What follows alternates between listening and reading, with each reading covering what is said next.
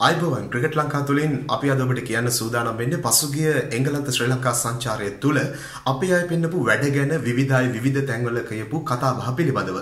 මේ අතර විවිධයි අපේ අයගේ වැඩ පිළිබඳ එක එක තැන්වල එක එක විදිහේ කතා පතුරවද්දී ලෝක ප්‍රසිද්ධ ක්‍රිකින්ෆෝ වෙබ් අඩවිය අපේ අය ගැන කියලා තිබුණේ මෙන්න මෙහෙම කතාවක්. අපේ ගැන කතා කරපු ක්‍රික් ඉන්ෆෝ විශේෂයෙන් දිමුත් කරුණාරත්න ගැන අලුත් අදහසක් ඉදිරිපත් කරලා තිබුණා. ඔවුන් සඳහන් කරන්නේ තරගාවලියේ ලකුණු 256ක් ලබාගත්තු දිමුත් කරුණාරත්න ඔහුගේ දැවියාම් දෙකම සිද්ධ වෙන්නේ දිමුත්ගේ තියෙන දුර්වලතාවයක් නිසා නෙවෙයි. ඒක දිමුත් කරුණාරත්නගේ ඒ දවසේ අවාසනාව කියලා. ඒ වගේම දිමුත් කරුණාරත්න දැවියාම් දෙකකට මුහුණ දෙන්නේ පන්දු රකින්න අංගයේ තිබූ සුවිශේෂී පන්දු රැකීම නිසා කියලා ක්‍රික් ඉන්ෆෝ තවදුරටත් දිමුත්ට සාධාරණයක් කරමින් තමන් ඔහු පිළිබඳ අදහස් දක්වලා තිබුණා. ඒවගේ මේ තරගාවලියේ දෙවන තරගයට එන රොෂෙන් සිල්ලා තමන්ගේ ලකුණු ලබා ගැනීමේ සාමාන්‍ය 47.5ක රඳවා ගනිමින් ලකුණු 190ක් ගන්න සමත් වෙනවා. මේ රොෂෙන් සිල්ලා ගැන ක්‍රිකට් කියන්නේ දඟපන්දු යවන්නන්ගේ තනතිරි වල ඉතා හොඳින් ලකුණු ගන්න පුළුවන් රොෂෙන් සිල්ලාට ඉදිරි කාලයේදී කණ්ඩායම තුළ රැඳෙන්න නම් දිනේෂ් චන්දිමාල්ගේ පැමිණීමත් එක්ක ඔහුට වේගපන්දු යවන්නන්ගේ තනතිරි වල මේ වගේ වැඩ පෙන්නුවොත් තමන්ගේ ස්ථාවරත්වය ක්‍රීඩකයෙක් විදිහට සංචිතයේ ඉන්නවද නැද්ද කියන කාරණේ පිළිබඳ තවදුරටත් සුබවාදීව හිතන්න පුළුවන් කියලා තමයි ක්‍රිකට් කියලා තිබුණේ. ඒ වගේ මේ තරගාවලියේ පන්දු යවන්න අතරින් සාර්ථකම පන්දු යවන්නා බවට පත් වෙන්නේ දිල්රුවන් පෙරේරා. දිල්රුවන් Tamanගේ සාමාන්‍ය 24ක රඳවාගෙන මේ තරගාවලියේදී කඩලු 22ක් ගන්න සමත් වෙනවා.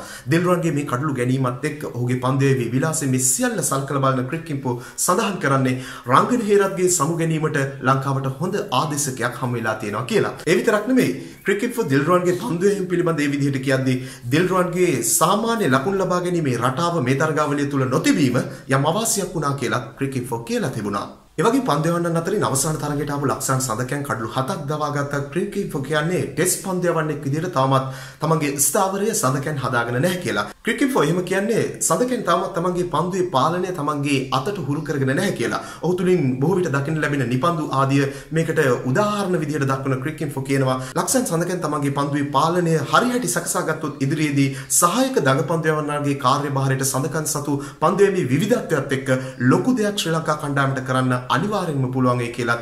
ඒ වගේ මේ තරගාවලියේ ශ්‍රී ලංකා කණ්ඩායම කාලයක් නියෝජනය කරපු කණ්ඩායම් නායකයා ඇන්ජලෝ මැතිව්ස් ගැනත් ක්‍රික් ඉන්ෆෝ කියන්නේ තරගාවලියේ අර්ධ සතක තුනක් ගත්තත් අවසන් තරගයේ ස්ටොක්ගේ පන්දුව හමුවේ මැතිව්ස් දැවී ගිය විදිය ගැන නම් මැතිව්ස් නැවත වරක් හොඳට හිතලා බලන්න ඕන කියලා. ඒ වගේ මේ තරගාවලියේ අර්ධ සතක දෙකක් ලබා ගන්න ධනංජය සිල්වා ගැන ක්‍රික් ඉන්ෆෝ කියන්නේ ඔහුට මුහුණ දෙන්න සිද්ධ වෙන පළමු පන්දු 25 ඉතා අස්ථාවරව ආරක්ෂාකාරීව පන්දුවට පහර දෙන්න හැකියාවක් ලබා ගත්තොත් ධනංජය තමයි ශ්‍රී ලංකා කණ්ඩායම නියෝජනය කරන විශ්වාසවන්තම ප්‍රතිකරුවා කියලා. ඒ වගේ මේ තරගාවලියේ අවසන් තරගයේ හැරුණාම අනෙක් සියලු තරගවල ඉතා විශ්වාසයෙන් පන්දුවට පහර නොදුන් ක්‍රීඩකෙක් විදිහට තමයි කුසල් වෙන්දිස් ගැන ක්‍රික් ඉන්ෆෝ කියලා තිබුණේ. හැබැයි මේ තරගාවලියේදී කුසල් ගැන අපිට දකින්න ලැබිච්ච දේ තමයි ඔහු ආරක්ෂාකාරී සහ වේගවත් පහරවල් කිසිවක් ඉතා හොඳ විශ්වාසයකින් යුතුව පහර නොදීම නිසා දැවියාම් වලට ලක් වුණා කියලා. කුසල් ඉදිරියේදී කණ්ඩායම නියෝජනය කරන්න නම් මේ වැරදි හදා ගැනීම අනිවාර්ය වේවි. එවගේම නිරෝෂන් දික්වැල්ල ප්‍රතිකරුවෙක් විදිහට මේ තරගාවලියට දීපු දායකත්වය ඉතා අසාර්ථක මට්ටමක තිබුණා විතරක් නෙමෙයි. කඩුල්ල පිටුපස අත්‍යවශ්‍ය අවස්ථාවලදී තමන්ගේ දායකත්වය හරියට ලබා දෙන්න දික්වැල්ලට මේ තරගාවලියේදී අවස්ථාව ලැබුණේ නැහැ. ඒ විතරක් නෙමෙයි.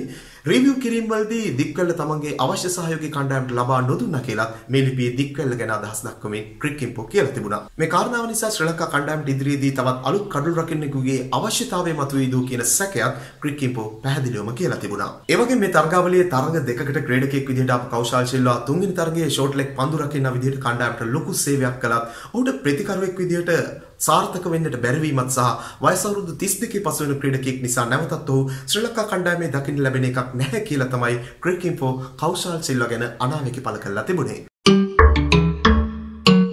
මේ තමයි පසුගිය එංගලන්ත ශ්‍රී ලංකා සංචාරය පිළිබඳ ලෝක ප්‍රසිද්ධ ක්‍රිකට් ෆෝ වෙබ් අඩවිය අපේ අය ගැන කියන කතාව. ඉතින් ඔයාලටත් අපේ කණ්ඩායම පිළිබඳ විවිධ අදහස් ඇති.